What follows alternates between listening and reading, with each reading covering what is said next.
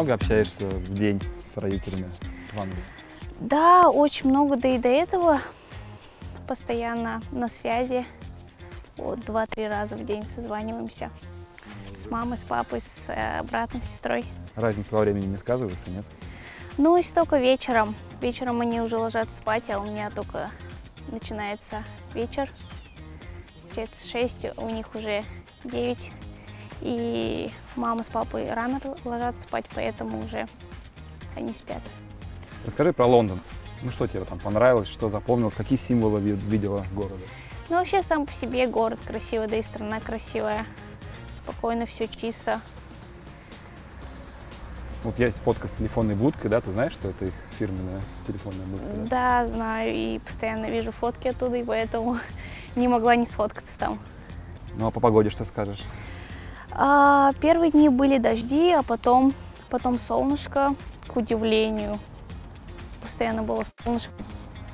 Расскажи про Челси. Вот я смотрю на фотографию раздевалки, она кажется такой не очень современной, но вместе с тем такая очень Мгм. интересно выглядит. Ну, про раздевалку у нас две раздевалки, получается. Первая раздевалка – это там, где игроки с а, 1 по 18 номер переодеваются, а вторая раздевалка уже с 20 по какой номер. Вот, и, ну, не современная, простая раздевалка. Чувствуется футбольный дух там в этой раздевалке? Да вообще и стадион сам чувствуется вот эта вся атмосфера футбольная, и когда уже матчи начинаются, а, много болельщиков присутствует на матчах, и прям фан- фантастическая атмосфера. У вас форма домашняя синяя, гостевая желтая. Какая тебе форма больше нравится и почему? Э, в принципе, я бы даже об этом не задумывалась, и та, и та красивая форма по-своему. Ну, Ты уже успела только в желтой, получается, поиграть, да? А, в старте, Да. да, только в желтый, но думаю, скоро и в синий попробую. Футболку, в которой дебютировала. Куда? Положила дело, сохранила его, наверное. А, Нет, обычно в стирку кинула, да и все, в принципе. То есть у тебя нет такого мании сувениров, что-то такое? М-м, Нет. Знаем, что Марина Федорова твоя лучшая подруга. Много времени вместе проводите. Тут ты уехала. Как вы общались? Сильно скучали друг по другу? Да-да, ее не хватало, потому что в Москве в последнее время проводили очень много времени вместе. Вот, и так э, были на связи, на телефоне, общались постоянно. Сейчас есть время для общения, для разговоров, поэтому это хорошо. Ну, если что, замолвим за нее словечко. Уже. Уже сказала, что да, есть Да, да, да. Да и так они все знают. В принципе, она очень хороший игрок. Э, Ты э, привыкла играть все время в старте. В Челси не так много времени пока. Насколько это проблема и на как ты к этому относишься в целом?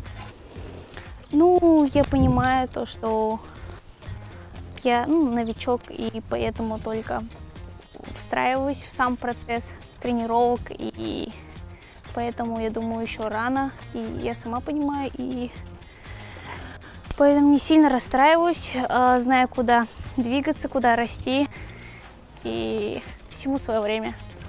Э, Тренер Челси считается одним из лучших тренеров в мире. Э, Какое впечатление он на тебя произвела?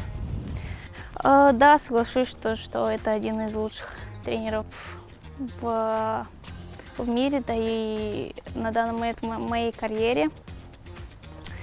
Э, Очень хороший, сильный тренер с, с, с огромными амбициями. И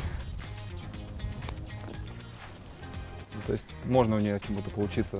да, Детально. всему можно поучиться у любого человека.